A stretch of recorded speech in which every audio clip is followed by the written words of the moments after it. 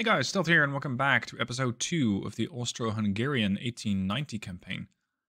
This one I'm doing without Admiral's logs because it's still a beta version and I am not really sure how long this one's going to last, so I'm doing it without the Admiral's logs because it's going to be hard to wrap a story around it.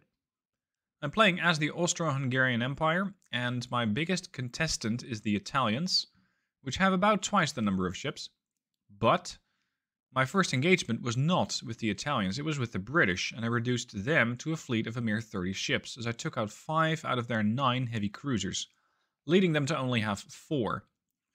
And that means um, that they might not be as much of a problem anymore in the Mediterranean. Now, I am still at war with these guys. I'm at war with the French, with the British, and with the Italians. The Germans, in this case, are my ally. Something else that they have patched is that you used to have this growth, GDP growth, which was the exact same for all nations. And that has been patched. So you can see that the French growth is far better than, for example, the German growth by a factor of two. Hopefully, we're not going to see that weird money bug. Now, time to take out some Italian ships. Sorry, French ships, actually. Here's an Italian encounter, but here's a French encounter. I have two uh, sorry, one heavy cruiser and a bunch of light cruisers, which are going to take up a fleet of torpedo boats. Rush in, dump the torpedoes, and eliminate these light cruisers, dealing a big blow to the French. The enemy's to the northwest, so that's where we're going. I'm going to use the heavy cruisers to draw fire as much as I can, while the torpedo boats are the ones that actually do the damage. Let's reorient all of these into better divisions, because right now it's a bit of a mess. I want the... Yeah, you guys, detach. Um, heavy cruisers are fine. These are also going to detach. These are going to detach. Polyp's going to join the 10. This is going to be a bit of a mess. After sorting out some formations, I now have a connection, or a target, for my first torpedo boat attack. It's one of the light cruiser groups. This seems to be the trailing light cruiser. Now you can insert your uh, considerations about why the French would be running away, but I'll leave that in your capable hands. As for the rest of the torpedo boats, we're going to make a move. I have resorted these guys into better formations, and hopefully that'll prove effective. Now, I don't really want to be pushing with the torpedo boats into a light cruiser, but fortunately these guys aren't terribly heavily armed. You got the 7-inch guns, one 5, and a whole bunch of... Well, actually not that many, just four 3-inch guns on the sides. They only do 20 knots. My ships are 12 knots faster. That can prove to be decisive, because I will rush them and I will eliminate them, especially if they start turning especially if they start turning. I'll probably lose a torpedo boat or two while doing it, but these things cost 1.3 million. My ships cost half a million. So if I lose three torpedo boats for every cruiser that they lose, then I'm still coming out way ahead. This is arguably, though, not the best way that you want to be doing an attack with torpedo boats. You want to make sure that they get sort of operational cover in the form of having different ships that draw attention, like the heavy cruisers. Because what I'm currently doing is extremely risky. And while I might get away with it, by virtue of the AI being at this, well, especially in this era, terribly inaccurate, it's not really the way that you want to be doing these attacks. Uh, also, it looks like the Chasseloup over here is not going to get hit by the T-10. No, she managed to dodge. Already in turn. The Polyp T8 is also launched, but that probably won't connect either. No, it might. I get lucky. But sadly for them, I have another tube. E no! Damn it.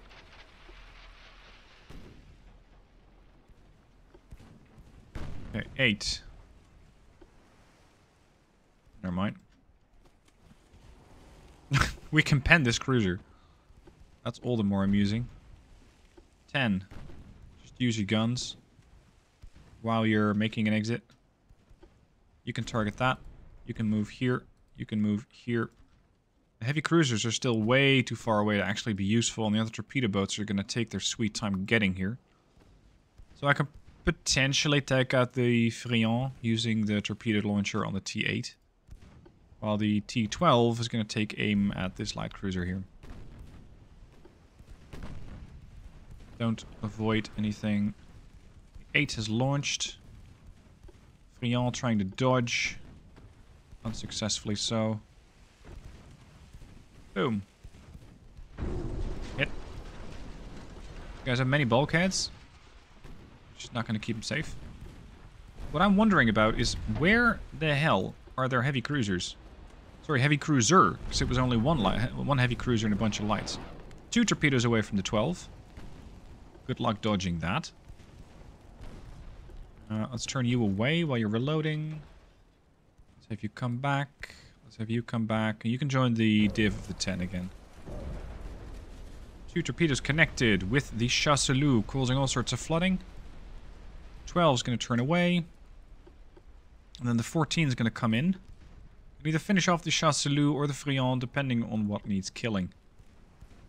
How did you get so badly damaged? Oh, you got hit with a friendly 5-inch. No. That was one 2-inch hit? No, I don't believe that.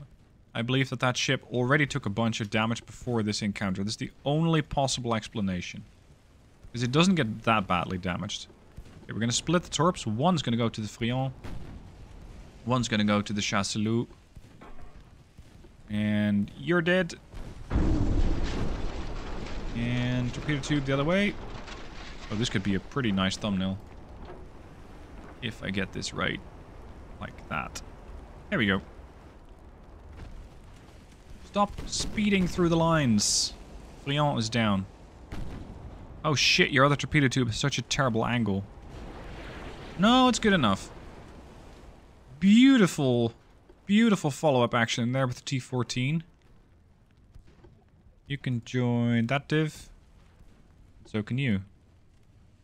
To break him off, but it'll work. There we go.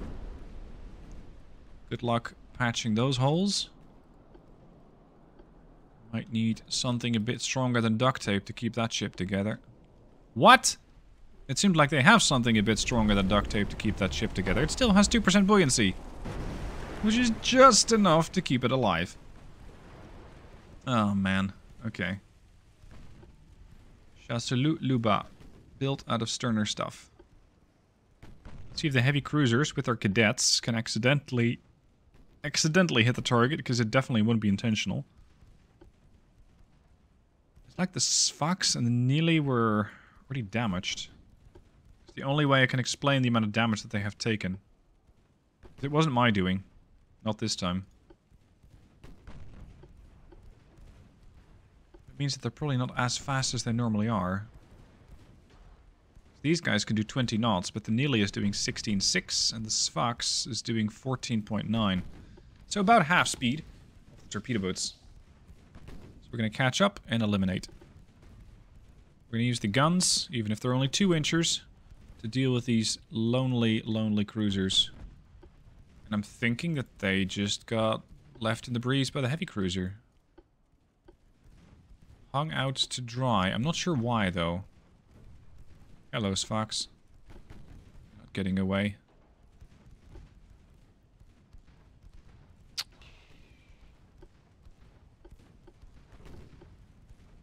Uh, yeah, torpedo it. You might as well. I need to find a battleship for either the Brits or the Italians or the French. Because I need to kill something a little bigger. That's what these torpedo dudes, torpedo dudes, torpedo boats do best. Okay, here's your last torpedo. Courtesy of the Austro-Hungarians. Bye-bye. Don't avoid, you'll be fine. Alright, who would like to take credit for the kill on the Nili and the Sfax? That'll probably not pen. The other group should also be in a fairly favorable position. Yeah, we can cut off the Sfax with you. Off HE Shoot. Oh, you're in so much trouble.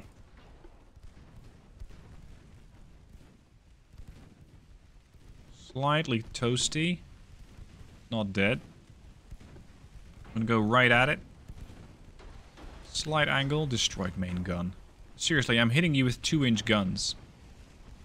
That's enough to take out your main armament? You, sir, are a disgrace to the French Navy. 18 launch torps. Connected. You're dead. Okay. Cool story. Next.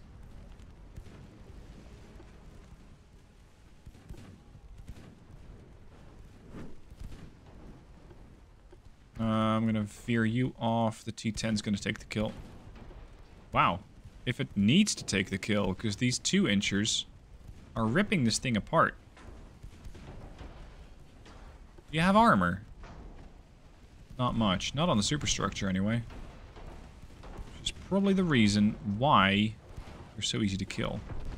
Tube one away from T10. Tube two. Boom. Boom. Dead.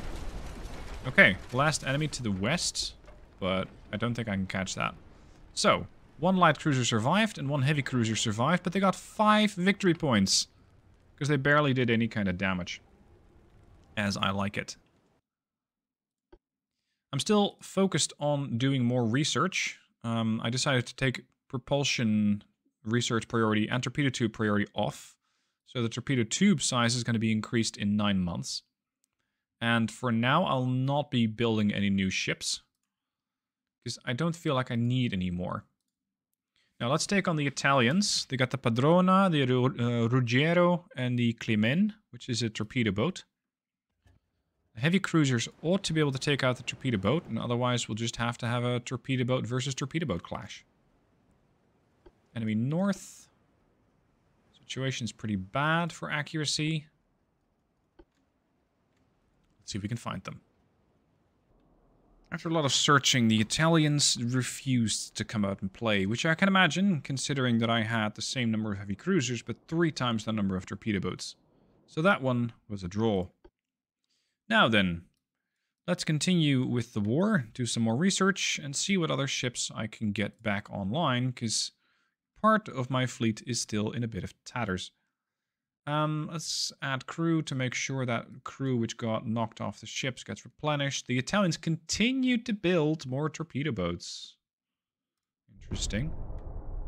Tell me more. Convoy. Yours or mine? Mine. Against the Archimede Fiume Generoso Immaculatone Concezione. Sorry, Immaculata and the Padrone. I have the heavy cruisers, which are not really designed for this task, and light cruisers. Uh, no. I don't think that that's the best fight that I can take currently. So we're going to skip that. Oh, the French. Again. I only have two torpedo boats. They have three. They have three light cruisers and two heavies versus my two heavies, which can take out their lights and their maybe the torpedo boats. And these two are going to have to take out the cruisers. Let's do it.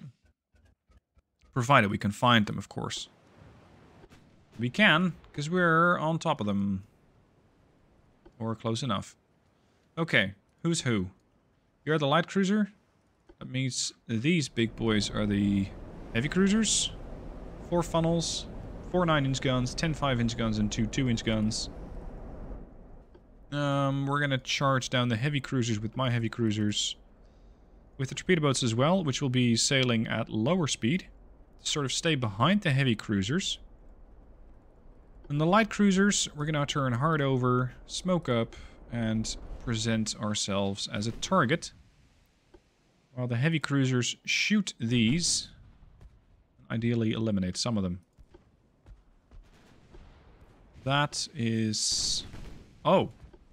Correction, you're the heavy cruiser, you're the light cruiser. I'm going the wrong way. I suppose that those things are as fast as I am. Okay, the light cruisers are turning around. That's good. That means I can immediately charge in. There's your torpedo boats. That's the one that the light cruiser should be targeting. The Imprenable is going to be a problem. Because it can very much damage these Shamals, but I don't think I can damage it very well.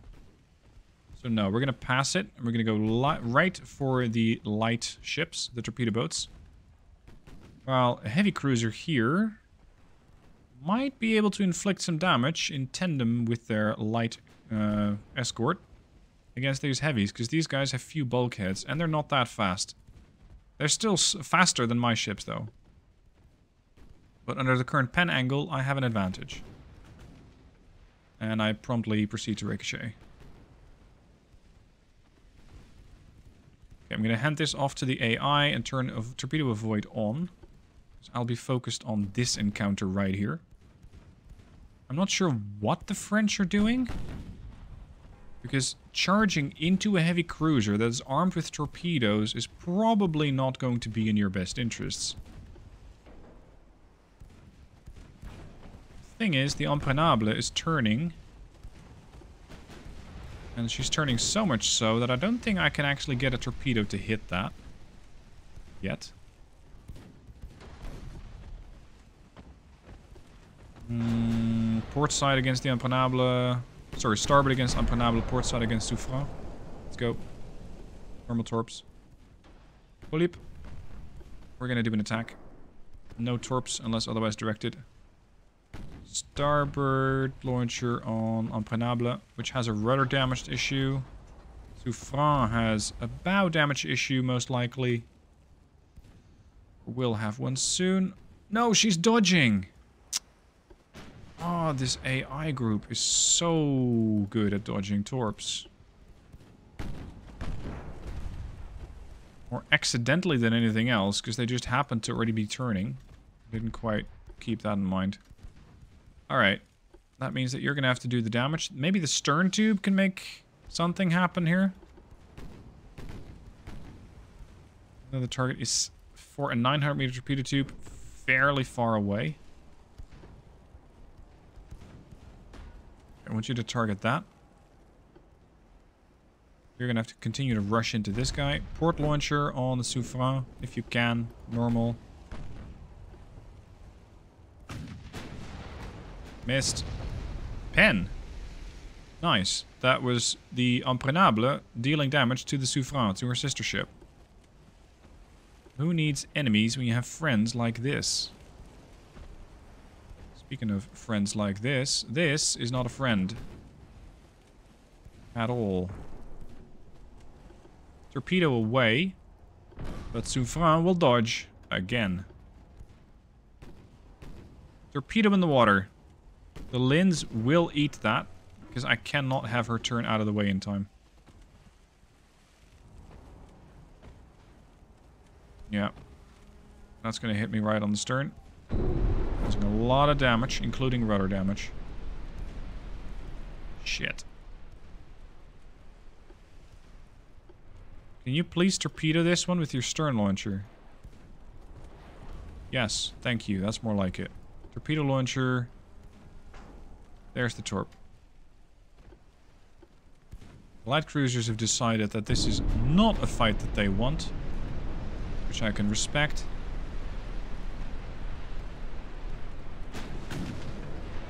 Oh, these torpedo boats are a problem. Haha! Heavy cruiser torpedoed the Charleroi T-19. Beautiful play.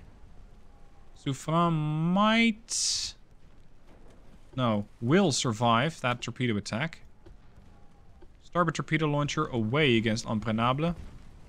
This time around it will hit. And it immediately blocks off the attack from the T-12 because she cannot launch against the Imprenable. Or rather, I'm banking on the fact that she won't.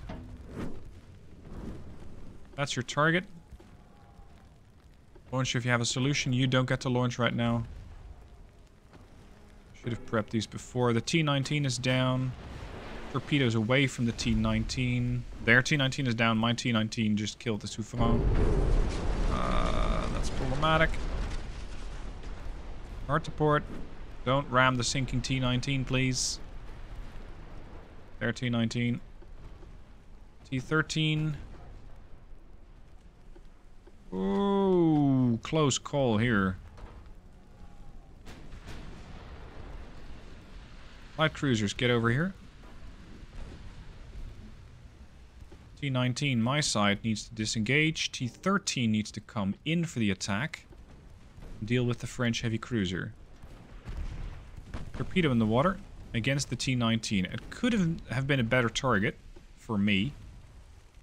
Because the T-19 is extremely agile and will not be caused, or will not be damaged by that attack at all. Okay, you can torpedo this. Torp away one. Torp away two. One will miss, one will not. You're dead. You have torpedoes ready. I don't like that. Are you kidding? There. Light cruisers. Deal with this.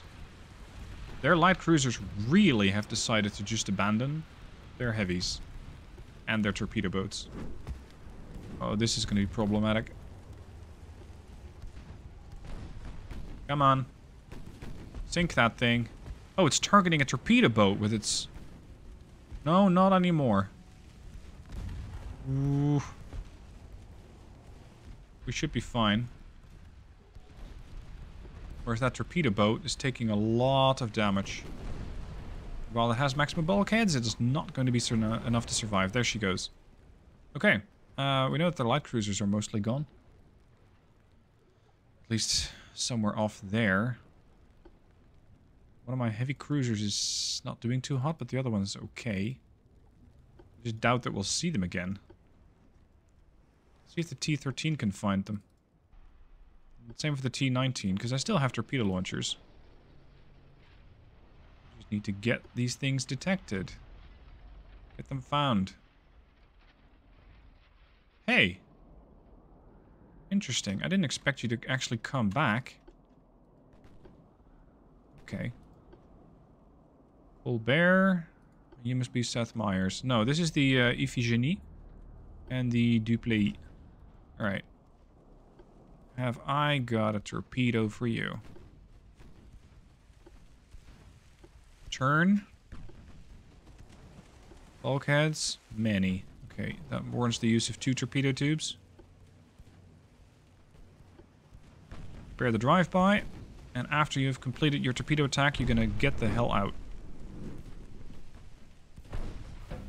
One away. Two away. Off you go. Boom. Okay, we'll just deal with the aftermath of that one later. Ah, never mind. Bear is gone. Just doesn't know it yet. Please. Give it a good shove and it'll probably sink. Uh, we're gonna go for the Dupleix. There's your target. Over pen?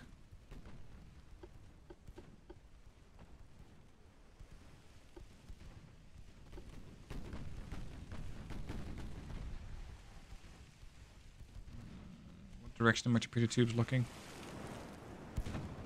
Wrong side. Shit. Okay, fine. There's your target, right there. Let's see how quickly I can get those into position. Not fast enough. Reverse. Need to slow this torpedo boat down. This is not good for my engines. But I need to slow down just a few knots to allow the torpedo tubes enough time to get into position and launch. There we go. Now we can go full ahead flank again. The Dupleix is going to have issues. Boom. Takes care of that. Brigands. Get in here. Why is this cruiser still a fact?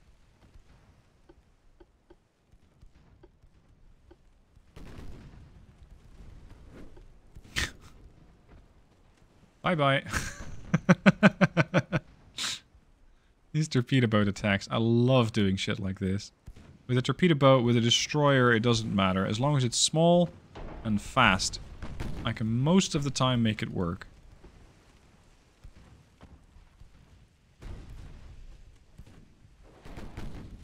Torpedo away.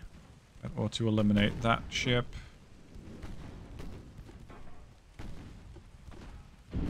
Dead. I really wasn't expecting the French to show up again. But hey, if they wanna, it's fine. So the Dupleix is to be a little difficult to pen with AP. Pretty good chance to hit it, though. 29% chance to hit. It's respectable. But again, the target's not moving. And we have a green level of crew, which is already a vast improvement. May have completely forgotten about my light cruisers. Potentially. Uh, where are you going, Virginie? Out of range. Torpedo boats. I know you don't have any torpedoes. But you got a gun. Make yourself useful. We're gonna target this. Iphigenie. Sadly, she might be too fast. 20 knots. That's what I'm capable of doing. End battle. Yeah, you'd like that. We're not doing that. We're going to take this thing out. Even with a 2-inch gun, we should be able to punch one or two holes into the Dupleix and make sure that she floods out. You coming back? There you are. I wasn't expecting to need the torpedo boats again. But here we are. Flooding? On my bow? That's rich. Huh. Yeah, you can pen the bows. Okay, that's unfortunate. There's your target. Use the two inchers. Your angle of approach is good. Yours is probably not. But if this guy does its job, you won't be needed. Need to come in at a straight or a slight angle, otherwise I won't be able to use more than one of my guns. There we go, that's better. She smokes up. Yeah, right. Speed, still 20.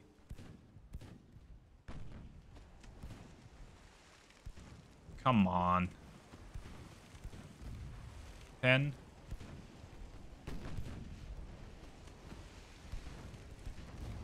Ten. A few hits, ideally on her stern.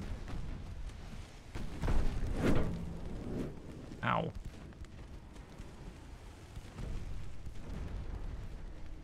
Buoyancy's sticking around 15-16%. HE. More pen. Get in here. Approach from the other side. Still chasing. Good. Keep it up.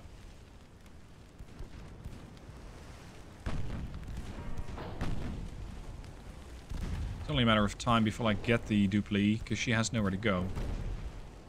Okay, we're going to switch back to AP. on, a few hits right there, and she's done.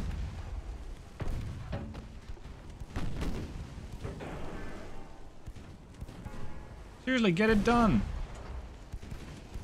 Fanshan's going up again. Or going down again.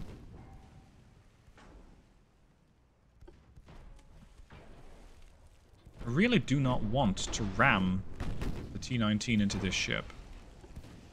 There she goes, flooding. 10%? 9%, 8, 7, 3, 2, 1, 2,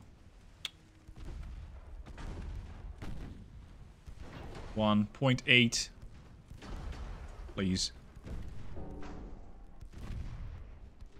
One, two, one. Go on! Sink already!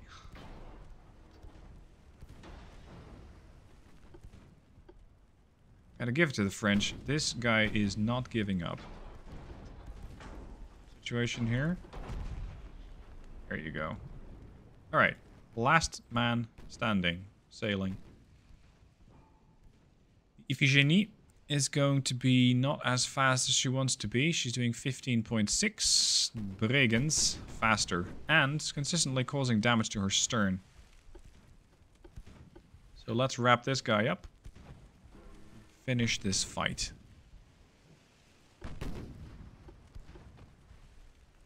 I think if the light cruisers from the French would have been involved with this fight a bit more, and had made an, an, honest attempt at taking out my torpedo boats, this would have been a substantially bigger, more difficult fight.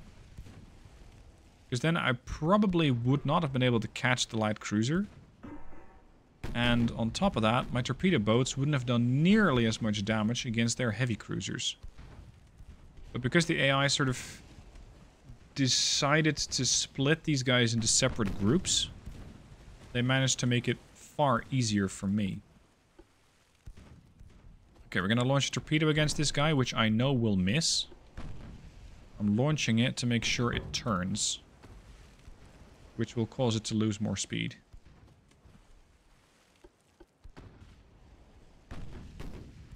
Fifteen three still.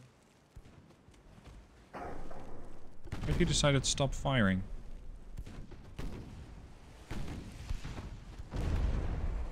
Overpen. Interestingly, we still haven't seen their battleships. I know they have them. Torpedo away. Here it is. Genie is aware.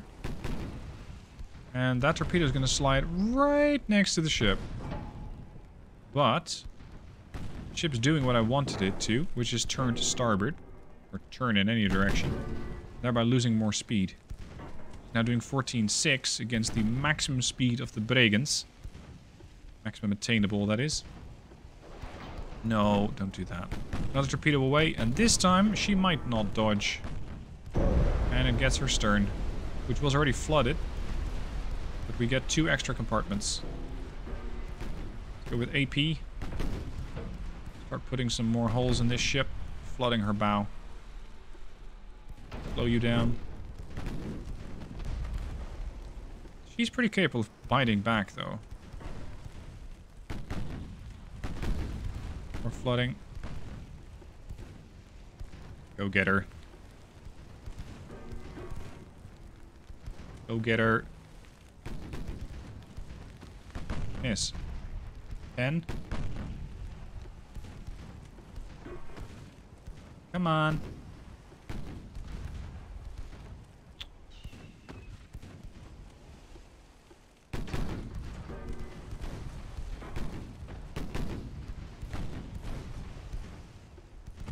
Was really banking on flooding this thing out quite a while ago, but it's proving to be more difficult than I'd expected. Oh. Yeah, that's not helpful. Iphigenie is down. Another one of the famous Austro-Hungarian victories over the French Navy. With 20 times the victory points. okay, maybe more like 19 times the victory points that the French have acquired. I lost no ships. They lost nine. Sorry, eight of them. Not nine. Eight. So, yeah, this war is going pretty well. Um, I have... What? No. Those victory points are supposed to be mine, my dear French, not yours. Unless the French inflicted a whole bunch of damage against the Germans, and thereby got that victory point score, I don't think that this is quite the way that it should be. No. Anyway, there's not a whole lot that I can do about that. Um, thank you guys for watching. I hope you enjoyed the episodes and the fairly long battles. But then again, that's what you normally get when you get the fights of the early times, 1890. Anyway, that'll be it. Thank you for watching, and I'll see you soon for more videos.